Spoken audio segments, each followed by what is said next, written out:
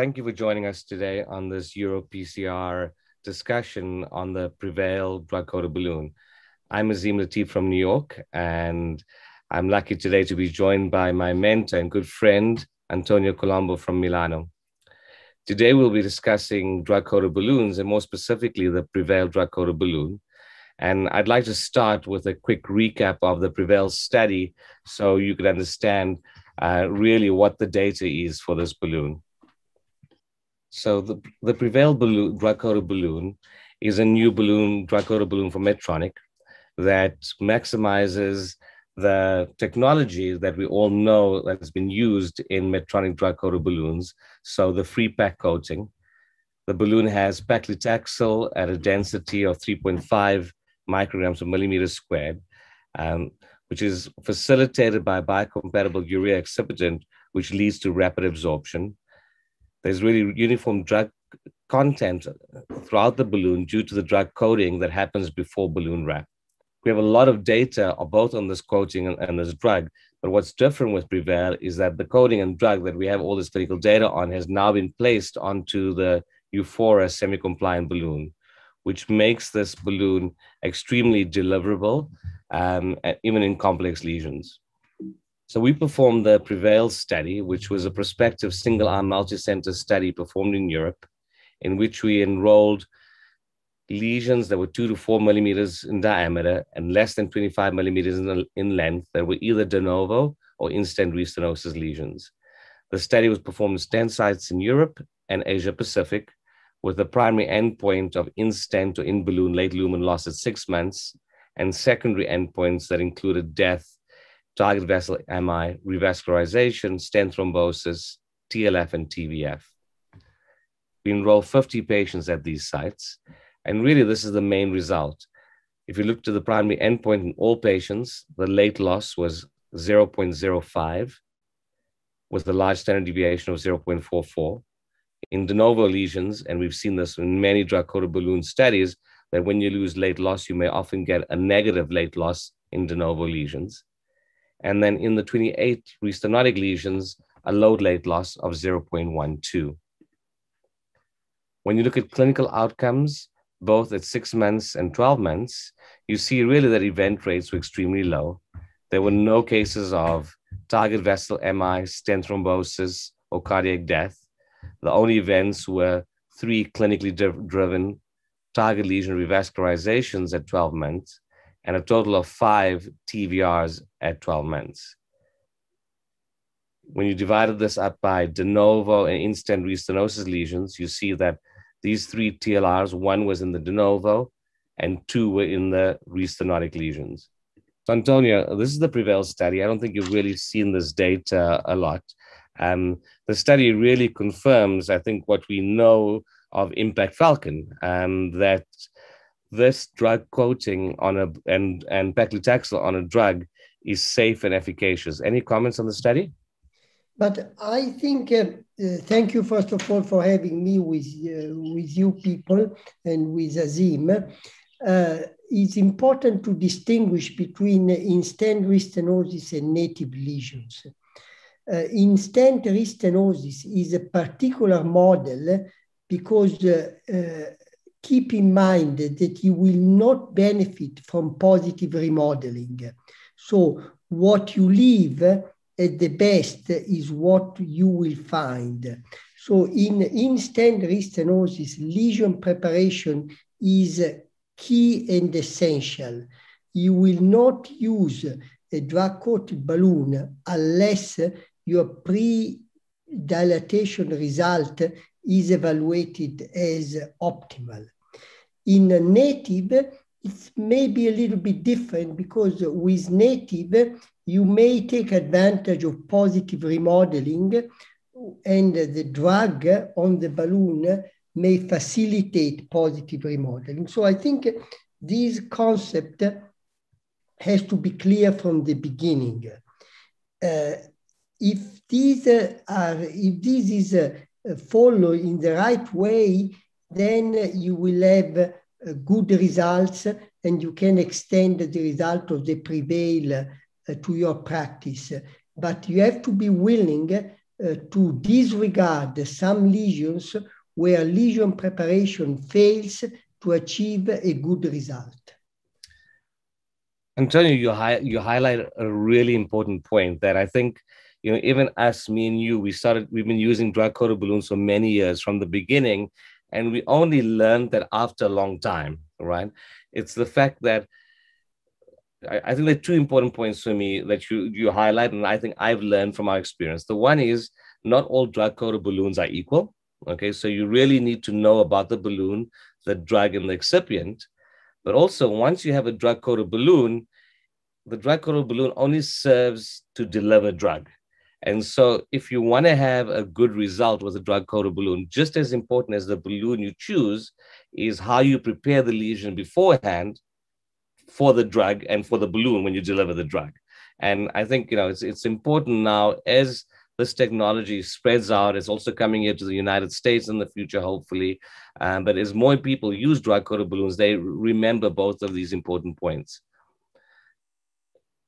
The second part I think is really important. What you mentioned about lesion preparation having a good result. How do you define that? What is a good result that you say, okay, now I'm I can use a drug coated balloon? Uh, you will um, you will never have, you will rarely have a stent-like result. But uh, you really have, uh, especially with uh, in-stent restenosis, you must have an optimal result. And that means you have to be open to use uh, kind of atherectomy devices. Uh, you, if you have orbital atherectomy, no reason not to use orbital atherectomy to prepare the lesion, cutting balloon, angiosculpt. Take the hyperplasia away as much as you can. Uh, dilate the stent if it's under deployed at the appropriate size. But if the stent is well deployed and you have all hyperplasia causing restenosis, you need to get rid of the tissue if you can. So uh, consolidate the immediate result with the drug, but uh, if you do not have an immediate result which is good, don't give the drug because the drug is not magic. Uh, the drug consolidates the result. And uh, to answer your question, what is uh, a stent-like result sometimes you get, but uh, is an optimal result. Residual stenosis less than 20%. Really a nice result. You may have a small dissection, sometimes even in stent restenosis you can have, but if the dissection is extraluminal, is linear, there's no luminal uh, compromise, that's okay. Uh, don't be over concerned about small, tiny dissections. Antonio, I completely agree. I mean, that's kind of my practice too. I make sure I'm very aggressive with treating restenosis with everything I need on the shelf, whether that be laser, atherectomy, um, specialty balloons before opening um, my drug coated balloon. And I think that maybe also explain why, if you look at some of the data, the randomized data of comparing a drug coated balloon to a second generation everolimus eluting stent, the results are not always the same. I think a stent can be more forgiving in the sense that if it's just intimal hyperplasia, you know, you squash that intimal hyperplasia, you get rid of it with the with the second stent. But with the drug coated balloon, you really need to remove as much of the hyperplasia with your other devices beforehand. Antonio, you've been using paclitaxel drug-coated balloons for many years, um, and we both of us are very familiar with the Impact Falcon. We've you know we've used it for many years. Um, we have patients who now are doing extremely well years later. Um, over the last sort of year or two, there's been some concerns about the safety of paclitaxel and drug-coated balloons, and people are saying we should move to Limus because of these safety issues. Um, are you concerned about paclitaxel in coronaries? No, I, I mean, uh, you know, this debate about safety may take a full seminar, uh, but uh, I, the bottom line is, is in the last couple of years, this issue has been de-emphasized.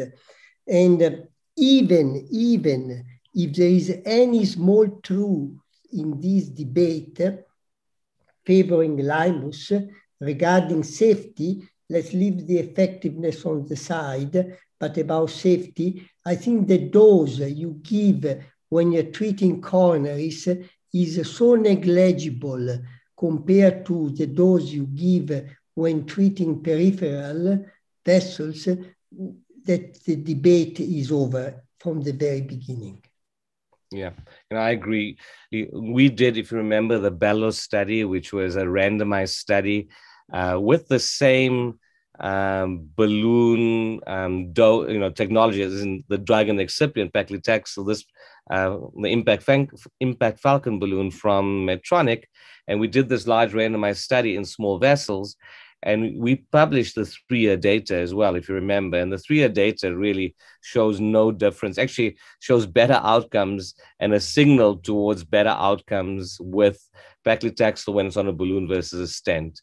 You know, and similarly, we've now put all the, the data together from most of the paclitaxel eluting drug-coated balloon studies for coronaries and published a meta-analysis in JACC, again, showing that there's really no signal whatsoever for a mortality um, or for harm from drug-coated balloons in the coronary. So I feel pretty safe about that. I agree with you. I think when it comes to efficacy, we don't know yet. Um, there are now sirolimus coated balloons becoming available, particularly in Europe, even here in the United States in, in clinical studies. But until we see head to head studies in the future, I don't think it's possible to comment on efficacy here's a patient we, we before I show you the result that we treated in the context of the Prevail clinical study, who really had a you know this the small vessel lesion of the diagonal, but that almost extends all the way to the ostium, right, where it becomes a 001 bifurcation lesion, and it's the kind of lesion where you know I think it's an important diagonal if you agree, um, sufficient size, but where to completely cover this lesion, you may have to bring your stent into the protruding a little bit into the main branch, which is here the LAD, or even some people now, you know, may decide to cross over from the LAD to the diagonal. I think this kind of lesion, or you know, the lesion, the bifurcation lesion, where you put a stent in the main branch and there's a stenosis in the side branch that's focal, is a good case for drug-coated balloon. Yeah, I'll just show you the angiography and the final result of this case. And I think it also highlights what you said before is the fact that you need to get a good result. So when you put the balloon in, there are no surprises after using the drug coated balloon. So for me, in most of these cases that I treat with single with um, with de novo disease and small vessel, there's often not a change after I've put the balloon in. One of the things I've learned from you, and maybe briefly you could mention, is when using drug coated balloons in de novo disease, is how to get a good result with, with ballooning. I mean, do you need to use long balloons, non-compliant balloons, long inflations? And when do you decide to switch over to a stent? But uh, I think uh, uh, when you, you, are dealing with native vessels, uh, using the appropriate size balloon, uh, especially in, in non-compliant balloon, is, uh, in my view, important. So uh, to sometimes use IVUS to assist you about the appropriate size of the balloon is a very good idea.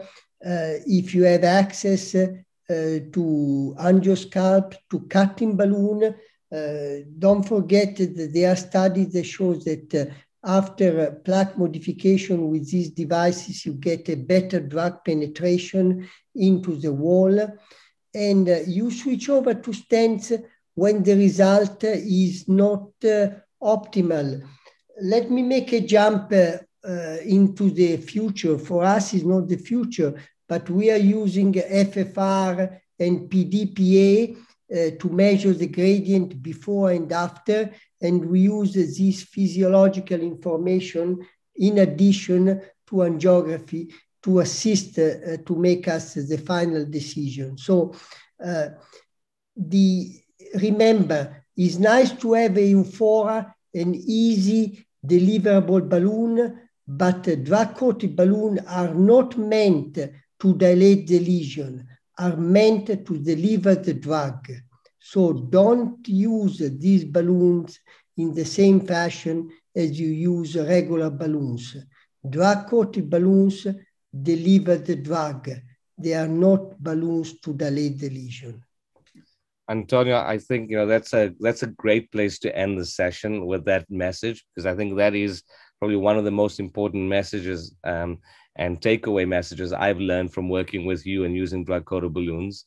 Um, hopefully, we've shared today with the audience, um, you know, and informed them about this new balloon, um, the Prevail balloon, which really is new per se.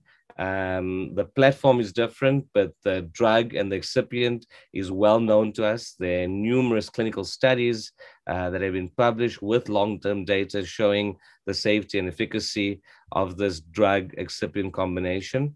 And I think we've hopefully given people some important tips on how to use drug coated balloons both in restenotic lesions as well as in de novo lesions. So I wanted to thank you so much, Antonio, for spending this time with me. I think this will be a very informative session for our colleagues.